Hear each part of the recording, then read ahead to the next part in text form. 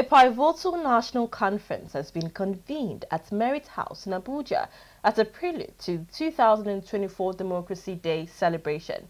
The event, themed Democratic Governance in Nigeria, the journey so far, what next, brought together a diverse group of stakeholders and civil society organizations to deliberate on the state of democracy in the nation. Participants emphasized the importance of empowering the younger generation to take an active role in shaping Nigeria's democratic future as the country prepares to celebrate its 25th anniversary of uninterrupted democratic rule. Our correspondent, Bito Bryan, has details.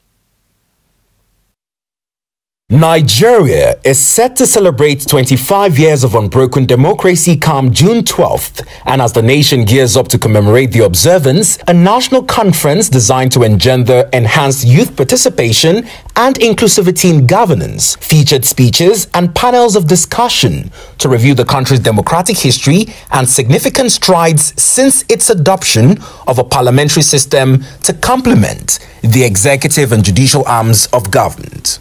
Convener of the conference, Prince Chidiebere Ani, buttressed the importance of improved governance hinged on adherence to democratic principles and the rule of law.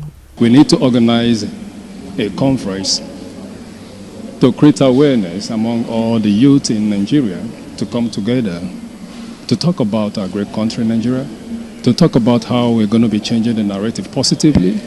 And this is the reason why we have uh, created this platform for us to be able to reach out, to talk about the mandate of the Mr. President, to talk about your mandate, to also talk about the mandate of the people. Federal Commissioner, Federal Character Commission, Honorable Mrs. Gini Kato, encouraged youths to emulate our heroes past in playing their roles in a quest for a better nation. I don't want to hear youths are not ready. They are very ready. I don't want to hear elders are corrupt. Not all elders are corrupt. Even though they, it's true, some youths are not ready. Some others are corrupt. So that's why I use the word he applied both sides. So it's about, about you and I. What do you want to do? What do you think? What's your mindset? Are you going to leverage on the situation at hand? However, if it's not looking good, are you going to leverage on that to decide what your life becomes? Or are you going to think out of the box to see how you can join the administration to change the narrative? Even if you're not given opportunity to serve, you can serve behind, behind you know, the scene all hands must be on deck to the formation of our country. If we can put our hands together, America will tell you, what can I do? What I can do for an American. They'll come out, they see it as celebration, they see it as a thing of pride. Yes, it indeed, a thing of pride and joy. To be involved in political, political and democratic institutions, structuring institutions, respecting the rule of law it's a right and it's, a, it's something of joy to be able to be faithful to the to the to the to the, to the constitution of the Federal Republic of Nigeria. Late Chief MKO Abiola and Hajiyat Kudirat Abiola received posthumous awards for their symbolic role in the nation's democratic struggle. Receiving the award, their son, Alhaji Abdul Abiola, urged leaders and stakeholders to be selfless in their service to country. Very challenging. I'm sure I don't have to tell the, my brothers and sisters what Nigeria looks like today compared to what it looked like in 1993 when my father was saying farewell to poverty. Obviously, things are a little bit more difficult. Things have changed.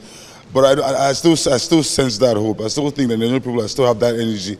Hopefully, um, with the right kind of leadership, with the right kind of policies, things will start to be done in the right direction. In the spirit of democracy and love for country, Nigerians have been reminded that the office of the citizen is important in holding leaders accountable and also in contributing their quota in building the Nigeria of our dreams.